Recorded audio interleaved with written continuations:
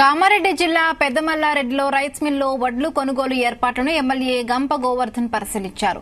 వడ్లు మిల్లింగ్ నిర్లక్ష్యం చేస్తున్నారని రైస్ మిల్ గుమస్తాపై ఎమ్మెల్యే దాడి చేశారు. గుమస్తాపై దాడికి నిరసనగా జిల్లా వ్యాప్తంగా రైస్ మిల్లులను బంద్ చేశారు వ్యాపారస్తులు. ఎమ్మెల్యే క్షమాపణ చెప్పే వరకు ధాన్యం కొనుగోలు చేపట్టమని రైస్ మిల్లర్లు తేల్చి చెప్పారు.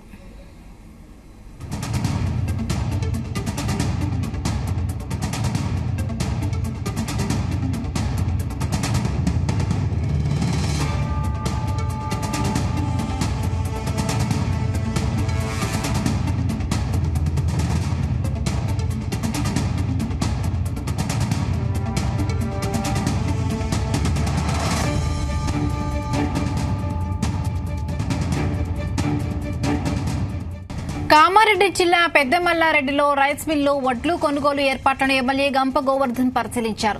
వడ్లు మిల్లింగ్ నిర్లక్ష్యం చేస్తున్నారని రైస్ మిల్ గుమస్తాపై ఎమ్మెల్యే దాడి చేశాడు. గుమస్తాపై దాడికి నిరసనగా జిల్లా వ్యాప్తంగా రైస్ మిల్లులను బంద్ చేశారు వ్యాపారస్తులు. ఎమ్మెల్యే క్షమాపణ చెప్పే వరకు ధాన్యం కొనుగోలు చేపట్టమని రైస్ మిల్లర్లు తేల్చి చెప్పారు. రటిక ఇదే అంశానికి సంబంధించి పూర్తి డీటెయిల్స్ మా ప్రతినిధి సాయిలు అందిస్తారు. సాయిలు హిమబిందు ఈ కామారెడ్డి ఏదైతే కామారెడ్డి జిల్లాలోని బిక్కనూరు మండలం పెద్దమల్లారెడ్డి దగ్గర ఉన్న ఈ పూర్ణిమ రైస్ మిల్లోకి నిన్న రాత్రి ఆ ఎమ్మెల్యే అతని సంబంధించిన అంశకులు అందరూ వెళ్ళి అక్కడ రైస్ మిల్ ఓనర్ మీద అక్కడ సిబ్బంది మీద దురుసుగా ప్రవర్తించి చేయి చేసుకున్నారన్న ఆరోపణపై ఈ రోజు పెద్ద ఎత్తున రైస్ మిల్లర్స్ అసోసియేషన్ నుంచి ఈ రోజు ఏదైతే మిల్లింగ్ బంద్ అనేది కొనసాగిస్తున్నారు అయితే ఇది పెద్ద ఎత్తున కామారెడ్డిలో ఒక రకంగా చెప్తే ఉద్రిక్త పరిస్థితులకే దారితీసిందని చెప్పొచ్చు. రా ఏదైతే ఈ మిల్లర్లు ఎందుకంటే ఎమ్మెల్యే గారు చేసిన అంటే ఒక బాధ్యతాయుతమైన ప్రజాప్రతినిధి అయి ఉండి ఆయన ఎమ్మెల్యే గారు ఇట్లా సిబ్బంది మీద చేయి చేసుకోవడం అనేది అది చాలా పెద్ద నేరంగా భావిస్తున్నారు. అంతా ఆందోళనకు దిగారు.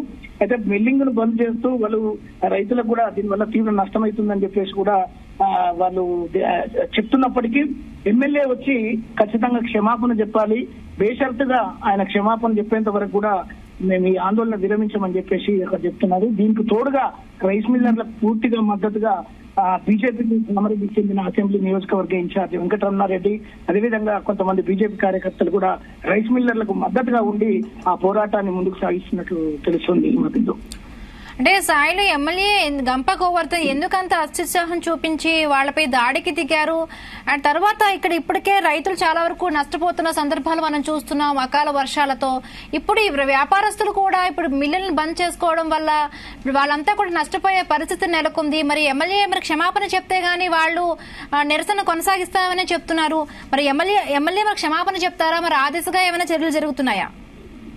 అయితే ఒక రకంగా చెప్పాలంటే ఈ అకాల వర్షాల వల్ల కామారెడ్డి జిల్లాలో పెద్ద ఎత్తున భారీ నష్టం సంభవించింది.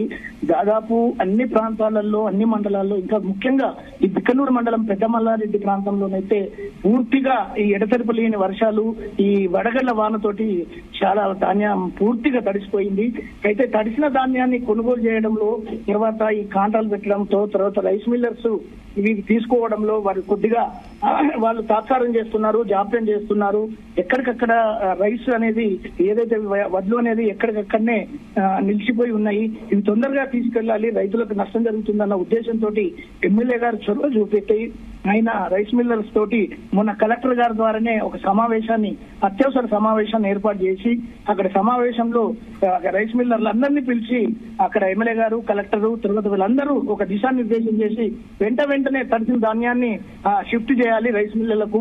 అవి కొనుగోలు చేసి ఇవి రైతులకు నష్టం లేకుండా చూడాలన్న ఉద్దేశంతో వాళ్ళకు ఆదేశాలు జారీ చేయడం జరిగింది. కాకపోతే ఈ పూర్ణిమ రైస్ మిల్ సంబంధించిన అక్కడ ఏదైతే ఆ ప్రాంతంలో ఆయనకు వచ్చిన ఆ, ధాన్యం సేకరణ అనేది ఆ, జాప్యం జరుగుతుంది. అక్కడ వాళ్ళు తీసుకోవడం లేదు.